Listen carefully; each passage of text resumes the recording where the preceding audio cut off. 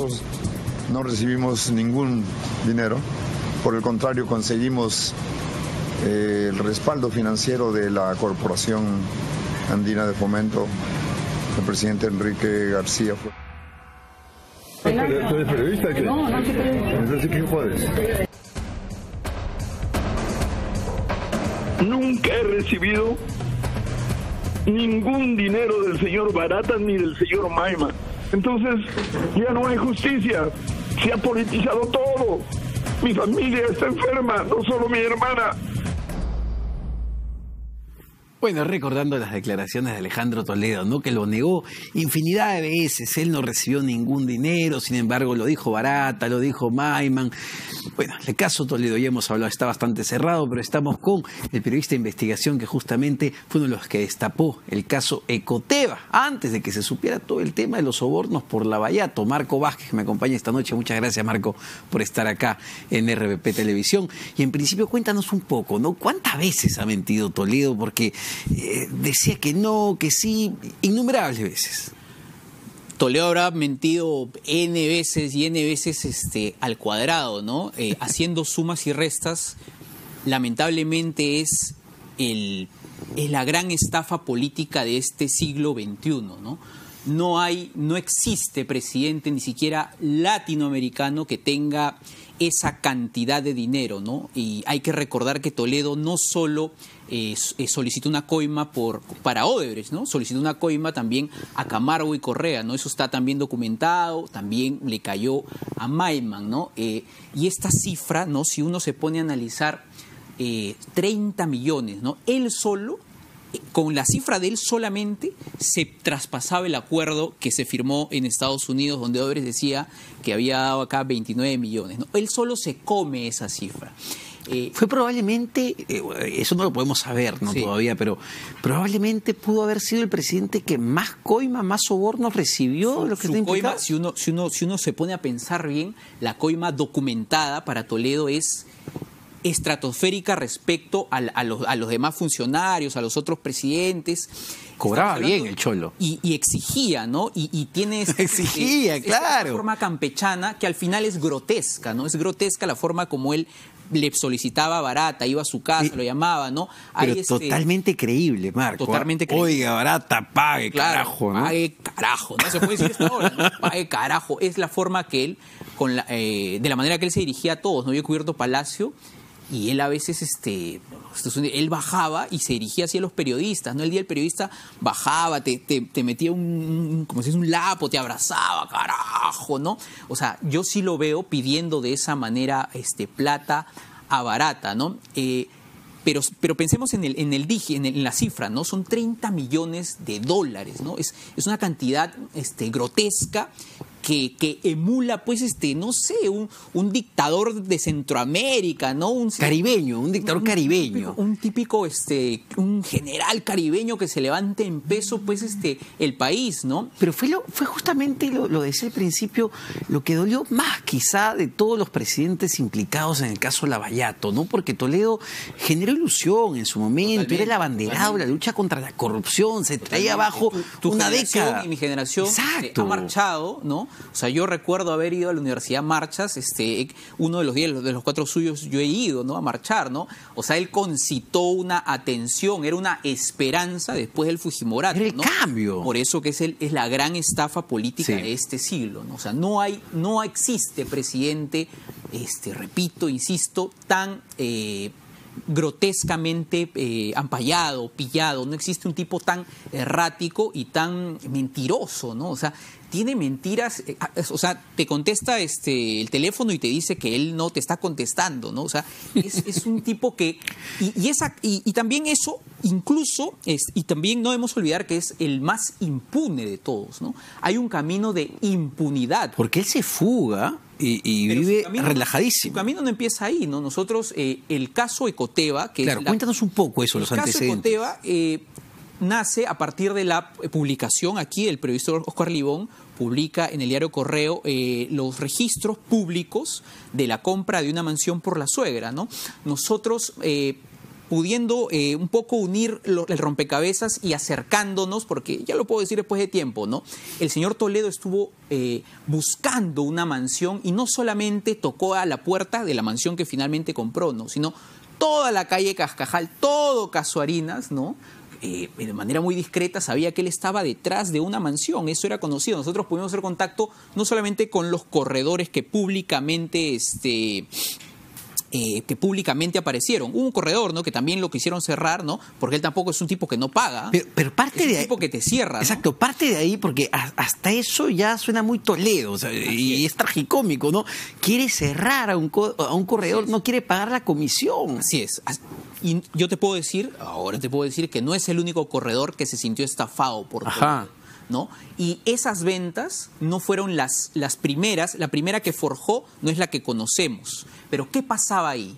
Que nadie quería en Casuarinas, ¿no?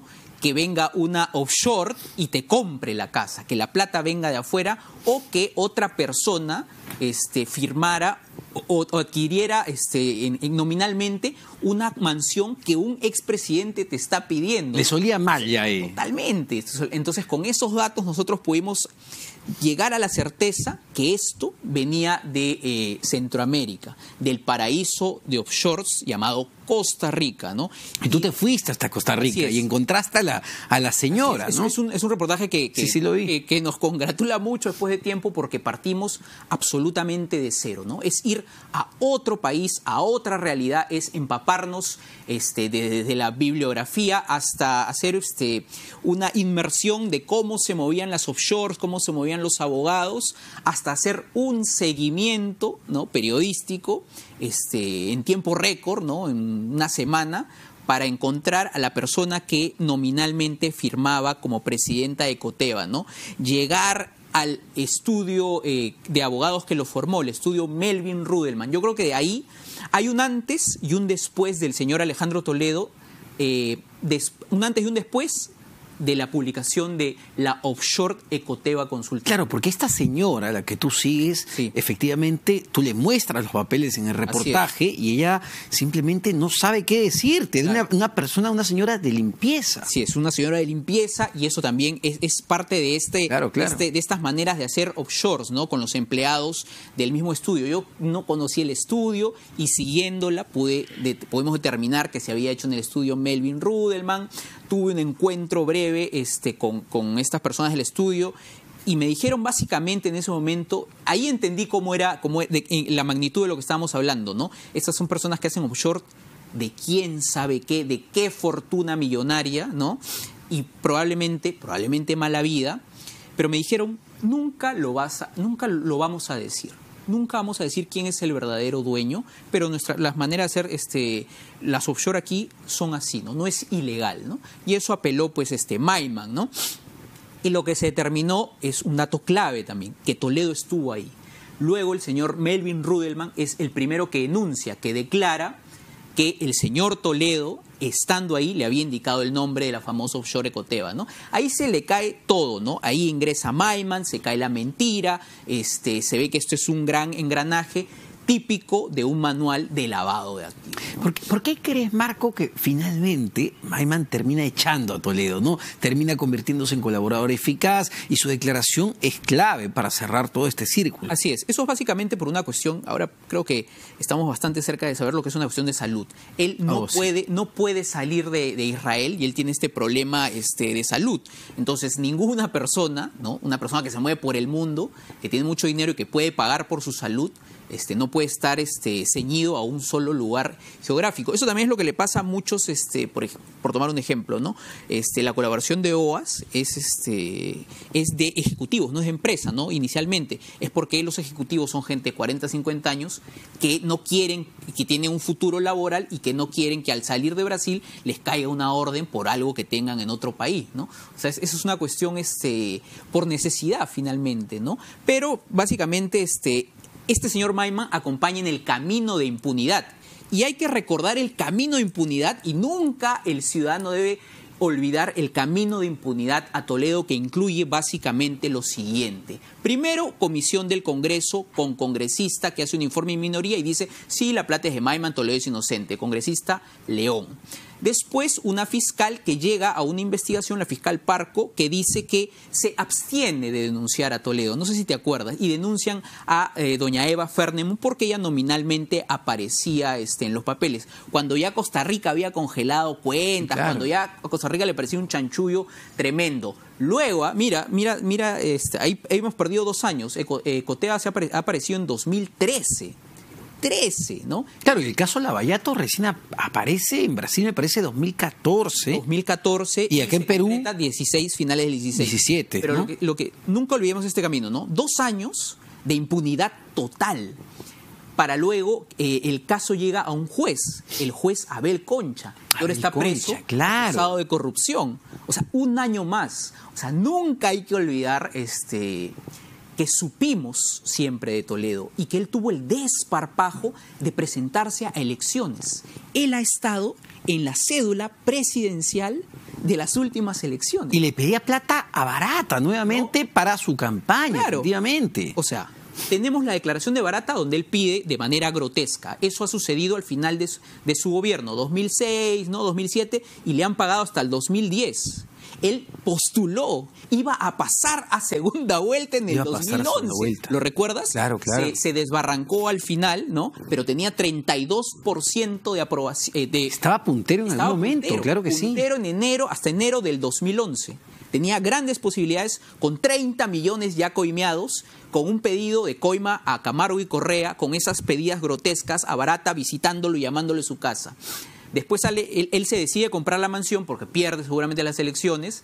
La señora Carr pujando, pujando que quiere ir a Casuarinas, ¿no? Porque él vivía en Camacho.